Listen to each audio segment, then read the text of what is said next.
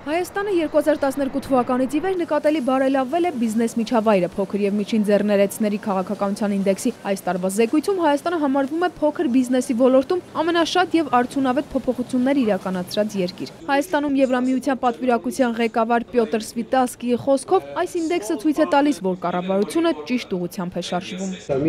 Արձանագրված բարելավումներով Հայաստանն առաջընթաց գրանցել է, այլ հարց է թե որքանով է տնտեսվարողներին ու գործարարներին գոհացնում առաջ շարժվելու կառավարության արագությունը։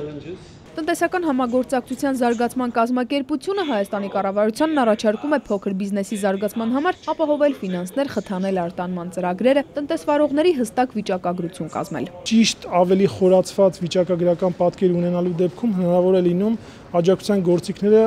դարձնել ավելի թիրախային, ավելի ուղղորդված այն խմբերին, որոնք որ հատկապես դրա կարևորություն ունեն։ Մասնագետների գնահատմամբ կառավարությունը պետք է վերլուծի այն սահմանափակումները, որոնք խոչընդոտում են փոքր բիզնեսի զարգացմանը։ Այդ պատճառով կառավարությունը մշակել է փոքր եւ միջին ձեռներեցությունը զարգացնելու երամյա ծրագիր։ Այդա Կարապետյան, Գառնիկ Մելքոնյան, ժամը լրատվական։